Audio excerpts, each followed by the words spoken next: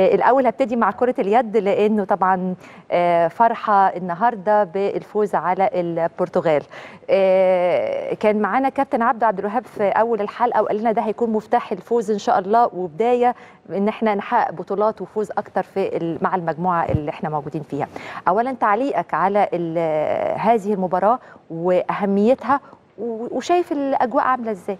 زي ما قال فعلا أنا يمكن شفت ال- المداخلة دي مع الكابتن عبد عبد الوهاب يمكن ده آه. أسطورة من أساطير كرة اليد وعضو حالي في اللجنة اللي بتتولى إدارة الاتحاد المصري لكرة ال- اليد إيه؟ آه. بالفعل آه، هو مباراة مهمة جدا هي مباراة افتتاحية بتفكرنا بمباراة افتتاحية آه، للمنتخب المصري في بطولة العالم اللي أقيمت هنا في مصر في يناير.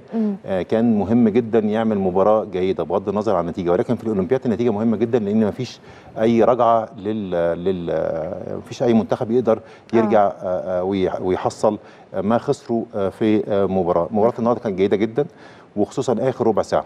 ال- المباراة المنتخب أدى مباراة جيدة. آه، بشكل عام ولكن في بعض المشاكل كانت حصلت فيه على مستوى الدفاع كان في مشاكل آه، على مستوى حراسة المرمى كان في بعض المشاكل ولكن بشكل عام ومجمل عام آه لا الم- المنتخب ادى مباراة جيدة جدا وخصوصا إن كان ظروف كورونا وعدم الاحتكاك الجيد لعناصر المنتخب آه آه آه ما كانش في أعداد جيد آه بسبب اللي حصل.